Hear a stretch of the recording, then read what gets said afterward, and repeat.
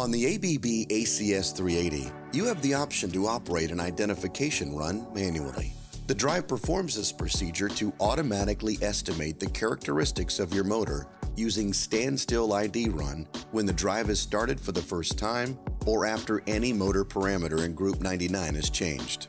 In most applications, there is no need to perform a separate ID run, but you should do one when under demanding motor control conditions such as when a permanent magnet motor is used, the drive operates near zero speed references, or operation at torque range above the motor nominal torque over a wide speed range is needed. If you would like to run a manual ID run, begin by ensuring that it is safe to run the procedure. Open the main menu, select the Parameters submenu.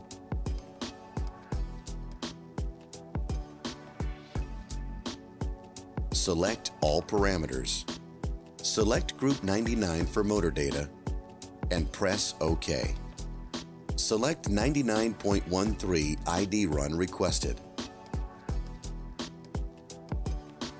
Select the desired ID mode and press OK.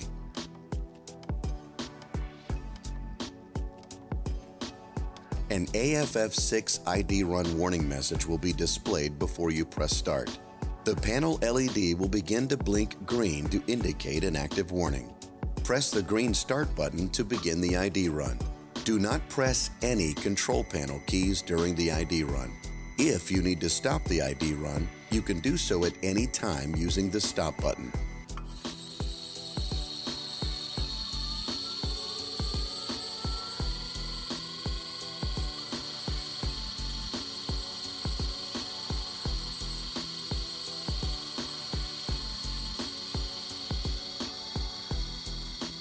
If the ID run fails for any reason, the panel will display fault FF61 ID run. Otherwise, if your ID run is completed successfully, you are now ready to begin using your drive as configured.